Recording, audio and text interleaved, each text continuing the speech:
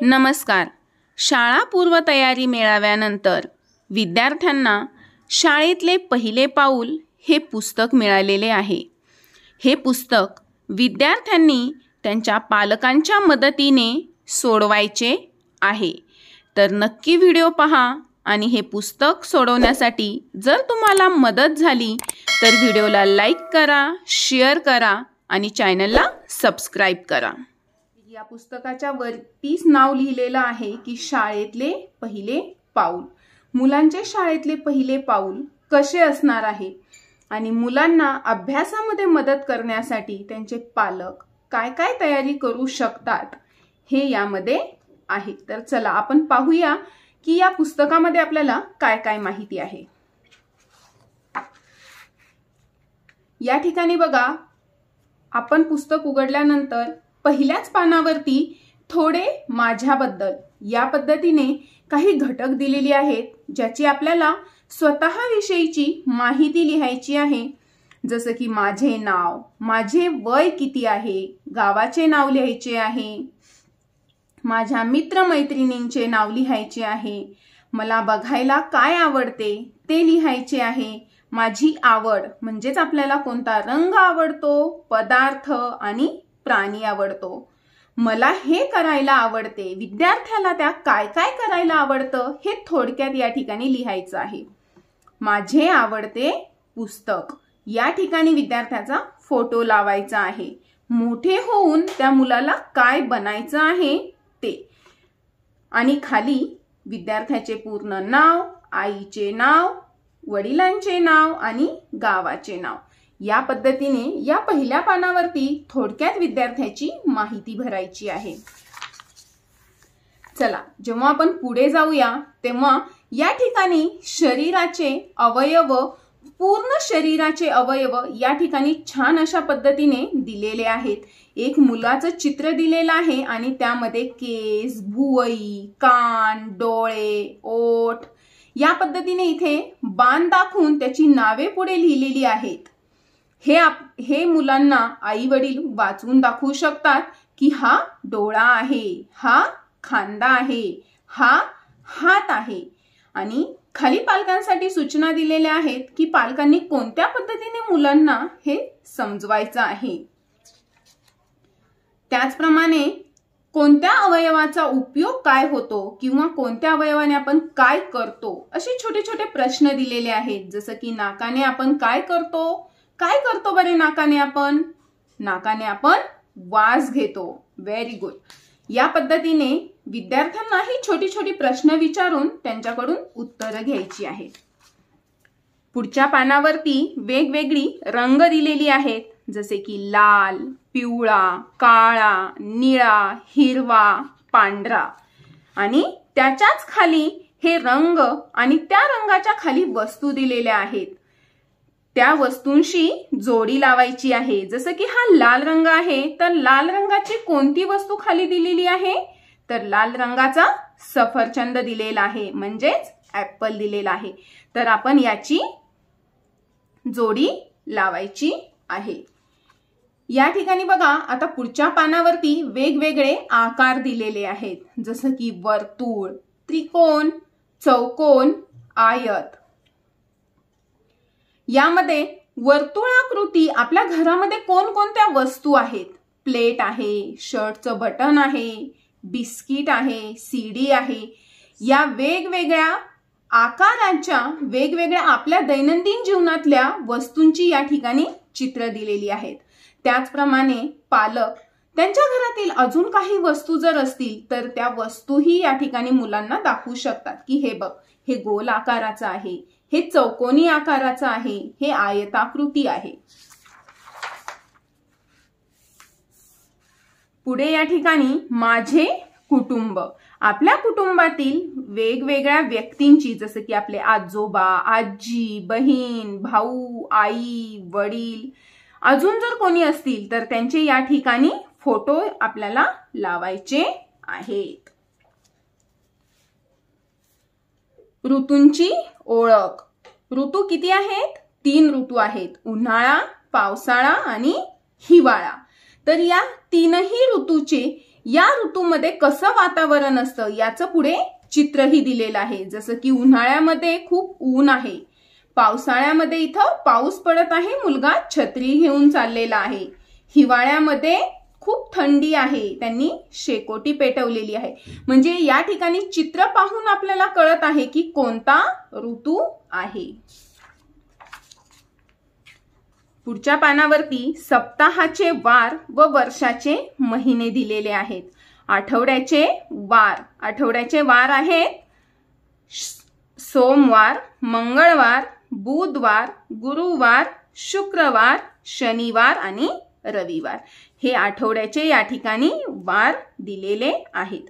त्याचप्रमाणे वर्षाचे बारा महिने व त्यांची नावेही या ठिकाणी दिलेली आहेत. जानेवारी फेब्रुवारी मार्च एप्रिल मे जून जुलै ऑगस्ट सप्टेंबर ऑक्टोबर नोव्हेंबर डिसेंबर.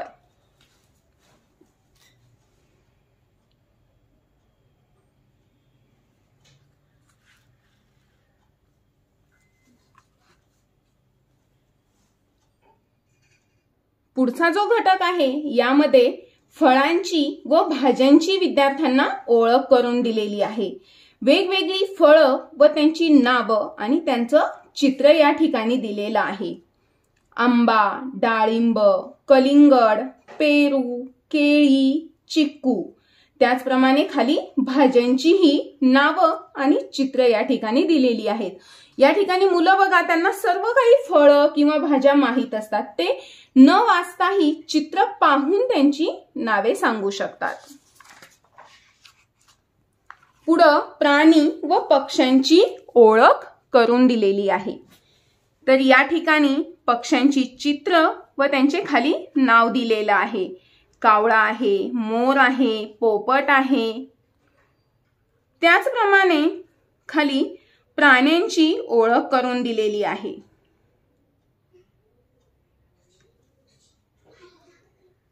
इथे बघा खाली काही छोटे छोटे प्रश्न आहेत. जसं की आपण यातील कोणते पक्षी पाहिले आहेत? विद्यार्थ्यांना पालकांनी विचारायचं आहे की तू यातला कोणता पक्षी पाहिलेला आहे? किंवा मोर कोणत्या ऋतूत नाचतो? पोपटाला कोणते फळ खायला आवडते? याबद्दल पालकांनी मुलांशी चर्चा करायची आहे. त्याचप्रमाणे यातील कोणते प्राणी तुमच्या आसपास दिसतात? यातील कोणते प्राणी तुम्ही जंगलात किंवा प्राणी संग्रहालयात झू मध्ये पाहिले आहेत? याविषयी मुलांना विचारायचं आहे आणि त्यांना उत्तरं देऊ द्यायची आहेत जेणेकरून त्यांच्या बुद्धीला चालना मिळणार आहे.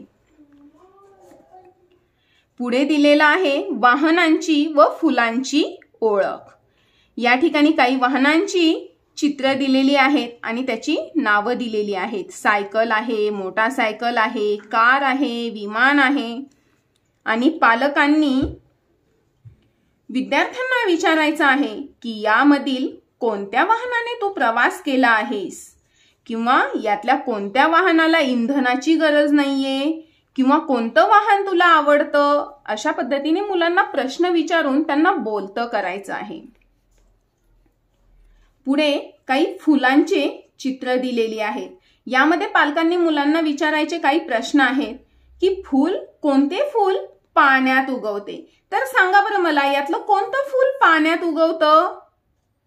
येस व्हेरी गुड कमळ हे फूल पाण्यामध्ये उगवतं. पुढे मुलांना प्रश्न विचारायचा आहे की कोणत्या फुलाचा सुगंध तुला आवडतो? तर मुलं वेगवेगळी उत्तरे देऊ शकतात. कोणाला गुलाब आवडेल कोणाला मोगऱ्याचं फूल आवडेल.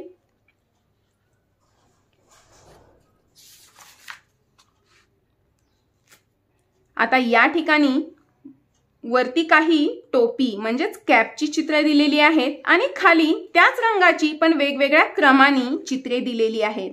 तर या ठिकाणी आपल्याला सारख्या रंगाच्या टोप्यांची जोडी लावायची आहे. त्यांनी एक जोडी लावून दिलेली आहे जसं की लाल रंगाची टोपी. आता मुलांनी पिवळ्या रंगाच्या टोपीची जोडी लावायची आहे.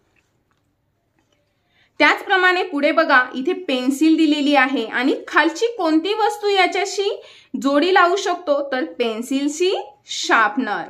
शर्ट शर्टची कशाशी जोडी लावू शकतो? पॅन्टची. या पद्धतीने मुलांना या ठिकाणी जोड्या लावण्यासाठी त्यांना वाव द्यायचा आहे.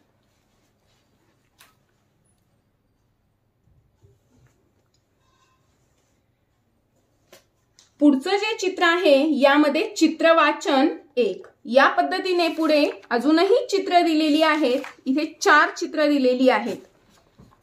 तर या चार चित्रांमध्ये मुलांना काही प्रश्न विचारायचे आहेत या चित्रावरती. त्यांना विचारायचं आहे की या चित्रामध्ये तुम्हाला काय काय दिसत आहे? तर मुलांनी छोटी छोटी उत्तरं दिली यामध्ये तरीही चालेल की मला फुगा दिसत आहे. मला हे चित्र कशाचं आहे? हे चित्र वाढदिवसाचं आहे. या पद्धतीने मुलं छोटी छोटी उत्तरं देऊ शकतात. छोट्या छोट्या वाक्यामध्ये त्यांना जे काही या चित्रामध्ये दिसतंय त्या सर्व वस्तूंची त्यांना विचारायचं आहे की तुला अजून काय चित्रामध्ये दिसतंय? त्यांना छोट्या छोट्या गोष्टीचं निरीक्षण करायला लावायचं आहे. या ठिकाणी तुम्ही मुलांना विचारू शकता की हे चित्र कोणत्या ठिकाणचं आहे? किंवा या चित्रामध्ये तुला काय काय दिसतंय? या चित्रात तुला काय आवडेल? काय घ्यायला आवडेल? या पद्धतीने तुम्ही मुलांना प्रश्न विचारू शकता. त्याच पद्धतीने चित्रामध्ये कोणकोणती वाहनं दिसत आहेत? या पद्धतीनेही तुम्ही प्रश्न विचारू शकता. किंवा तुला कोणता फुगा आवडला? अशा प्रकारे प्रश्न मुलांना विचारून त्यांच्या विचार क्षमतेला आपण चालना किंवा वाव देऊ शकतो. याच प्रकारे पुढेही एक चित्र आहे चित्रप्रवाचन तीन आणि चित्रवाचन चार. या चारही चित्रामध्ये पालकांनी विद्यार्थ्यांना त्या चित्रामध्ये काय दिसत आहे हे शोधण्यासाठी मदत करायची आहे. अक्षर गिरविणे तर या ठिकाणी ही एक सलग अक्षर न देता कोणतंही अक्षर कुठेही दिलेलं आहे. कारण मुलांचं काय होतं की त्यांना अ आ ई क ख असं त्यांना एक सलग ते वाचू शकतात. पण त्यांना जेव्हा मध्ये कुठलंही विचारलं तर त्या ठिकाणी वाचण्यासाठी अडचणी येतात. त्यामुळे या ठिकाणी बघा सुरुवातीला क दिले त्याच्यानंतर म दिले लगेच ल दिले असे वेगवेगळ्या क्रमाने अक्षरं दिलेली आहेत जे आपल्याला मुलांना वाचण्यासाठी सराव घ्यायचा आहे. आणि लिहिण्यासाठी हे गिरवायचे आहे त्याच्यावरती पुढच्या पानावरती चांगल्या सवयी दिलेल्या आहेत. मुलांच्या अंगामध्ये कोणत्या चांगल्या सवयी रुजवल्या पाहिजेत? रोज सकाळी लवकर उठणे सर्वांशी चांगले वागणे रोज दात घासणे नेहमी नीटनीटके राहणे रोज आंघोळ करणे रोज वाचन करणे जेवणापूर्वी व जेवणानंतर हात धुणे शिंकताना तोंडावर रुमाल ठेवणे रोज अंगणवाडीत किंवा शाळेत जाणे रोज रात्री वेळेवर झोपणे. या ज्या चांगल्या सवयी आहेत ह्या मुलांना आपण शिकवायच्या आहेत. त्यांना दाखवायचं आहे की या सवयी कशा आहेत चांगल्या सवयी आहेत आणि या सवयी आपण रोज अंगीकारल्या पाहिजेत. पुढे काही मैदानी खेळ दिलेले आहेत. तर या खेळांची नावं मुलांना विचारा की काय नावं आहेत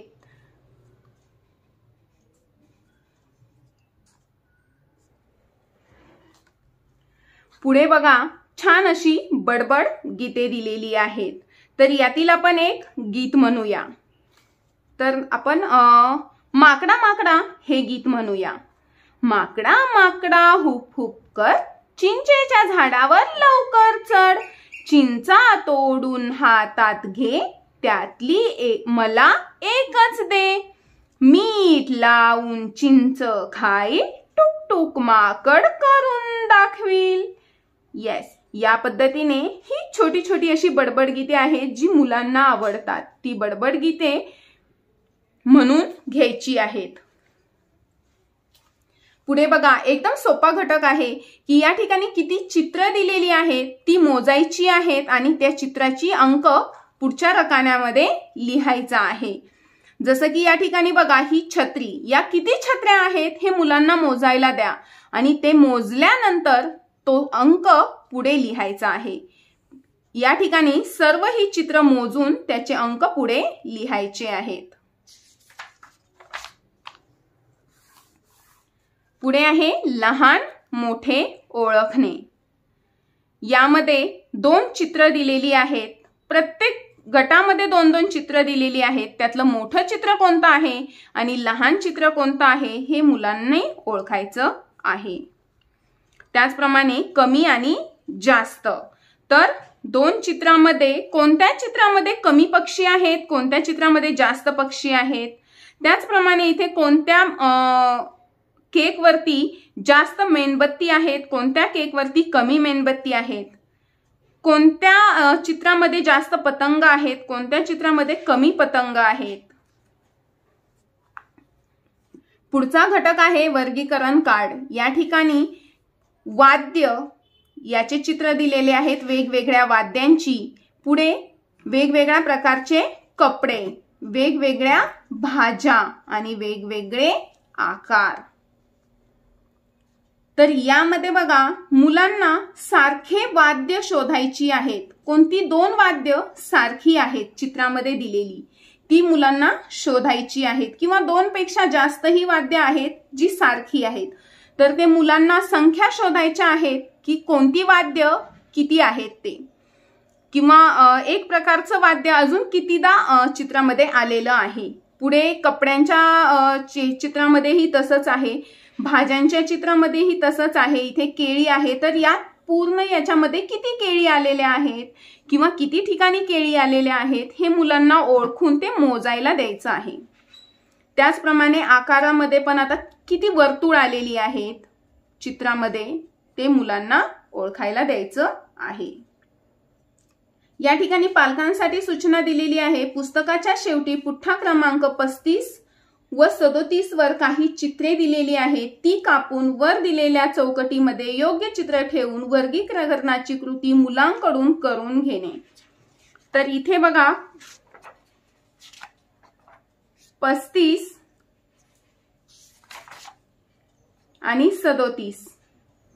या पानावरील चित्र कट करायचे आहेत आणि हे चित्र विद्यार्थ्यांना ओळखायला द्यायचे आहेत की ते वर्गीकरणामध्ये कुठल्या गटामध्ये येणार आहेत आणि ती या वर्गीकरण कार्डवरती ठेवायचे आहेत.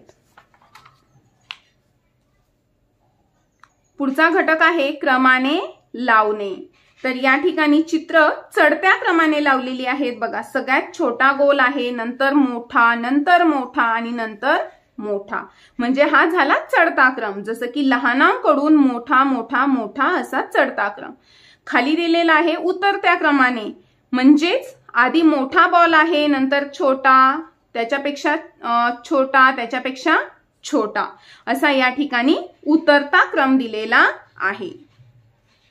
या ठिकाणी सूचना आहे की पुस्तकाच्या शेवटी पुष्टा क्रमांक तेहतीस वर क्रम लावा व शीर्षकांतर्गत चित्रे दिलेली आहेत. ती कापून वरील गोलात योग्य क्रमाने मुलांकडून लावून घ्यावे. आता आपण पाहूया की तेहतीस पृष्ठावरती काय दिलेलं आहे.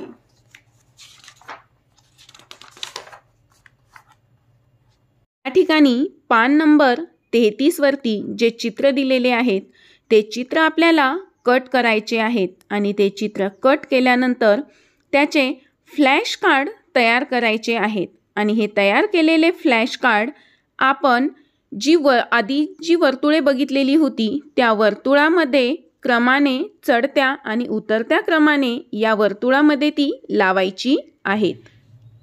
पुढे या ठिकाणी अक्षर तक्ता दिलेला आहे. यामध्ये क्रमाने आपली चौदा खडी जी आहे ती दिलेली आहे अ आ ई ई आहा पर्यंत आणि क ते ज्ञ पर्यंत.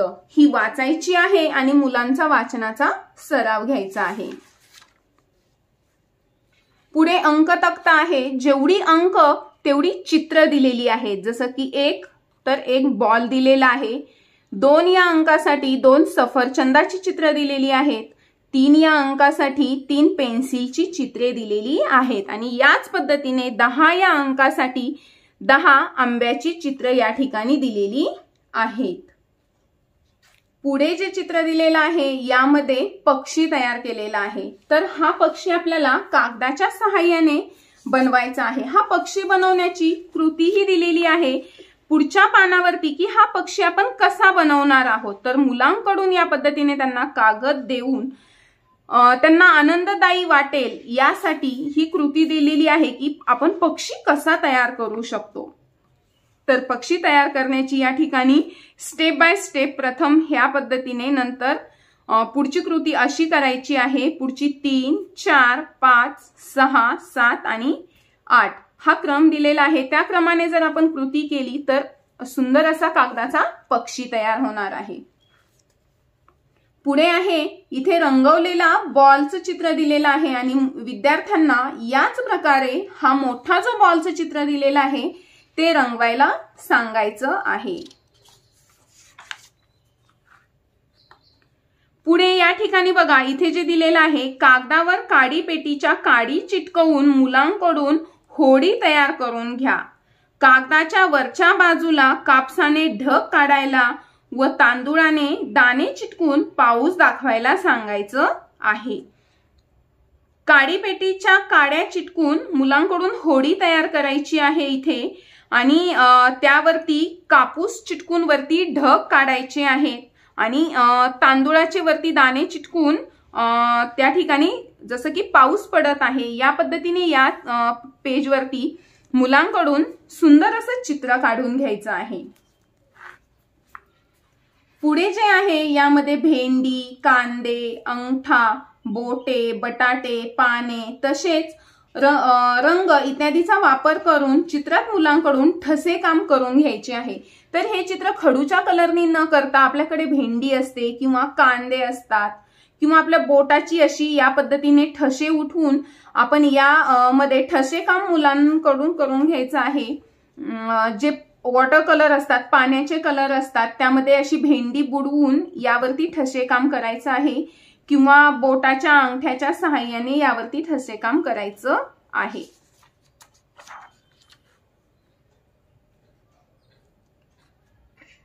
पुढे आहे मुलांचे दोन्ही तळहात रंगीत पाण्यात बुडवून तळहातांचे ठसे वरील जागेत उमटवायचे आहेत. जसं की पाण्याचे जे वॉटर कलर असतात ते मुलांचे हात त्यामध्ये बुडवून ते रंगाच्या सहाय्याने ते यावरती असे मुलांचे छाप घ्यायचे आहेत ते मुलांचे हात यावरती उमठवायचे आहेत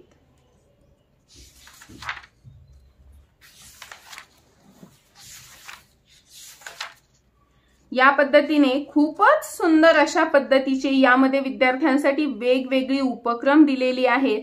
जे जर आपण मुला विद्यार्थ्यांसाठी घेतली ती पालकांनी जर याची तयारी करून घेतली तर खूप छान अशा पद्धतीने हे मुलांची तयारी होणार आहे की त्यांना इयत्ता पहिलीमध्ये प्रवेशापूर्वी त्यांना थोडीशी माहिती मिळणार आहे आणि त्यांना शाळेविषयी आवड निर्माण होणार आहे. आनंददायी असं वातावरण त्यांचं निर्माण होणार आहे.